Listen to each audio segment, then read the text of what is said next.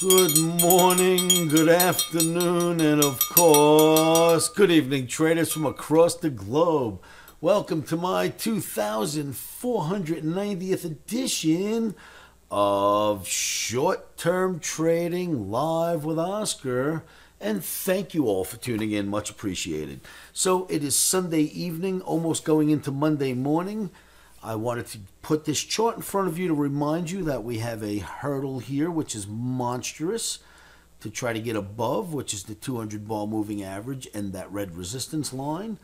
There is an election coming tomorrow, and believe me, this is a completely election driven market at this point. And we'll find out soon enough if this is going to drop again like usual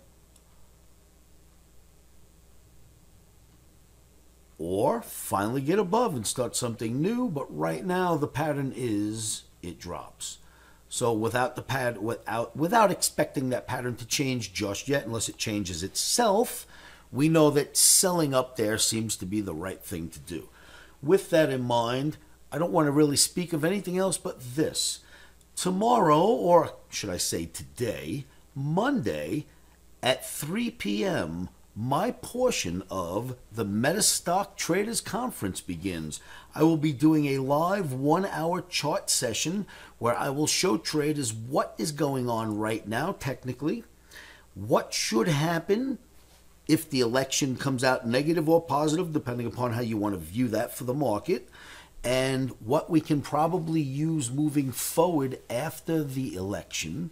So, I'm going to go over some key things that I think will be really good tips and tricks, well, tips, I should say, that you can use moving forward this week after the election. All of that happens tomorrow at 3 p.m. for the Metastock Traders Conference. The link is just below this video. It's absolutely free. Make sure you sign up. There are many other traders there presenting, like 37 in total. And if you want to view any of them, they're all going to be, you know, fantastic, showing you a lot of programs.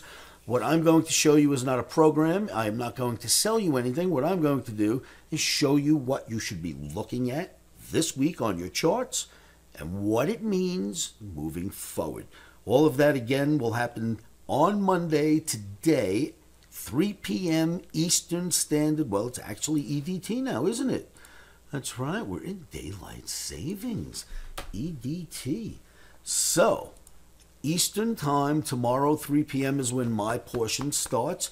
Please be there, click the link below, and we'll go over many charts. And I hope the information I'm going to provide will help you. Remember, sign up, it's free. The Metastock Traders Conference link is below. I will see you there. And remember, stops are in.